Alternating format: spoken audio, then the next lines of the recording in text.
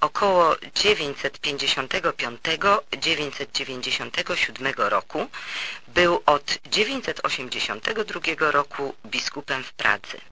Pochodził z książęcego rodu Sławnikowiców.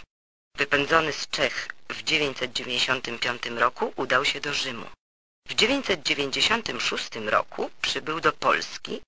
Bolesław Chrobry, obawiając się konfliktów, bezkompromisowego biskupa ze świeżo schrystianizowanymi poddanymi, wysłał Wojciecha w 997 roku z misją chrystianizacyjną do Prus.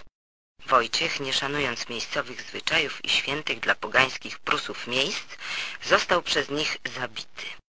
Bolesław Chrobry wykupił od Prusów jego ciało i pochował męczennika w Gnieźnie. W 999 roku Wojciech został kanonizowany. W Polsce XI-XII wieku kult świętego Wojciecha był kultem państwowym.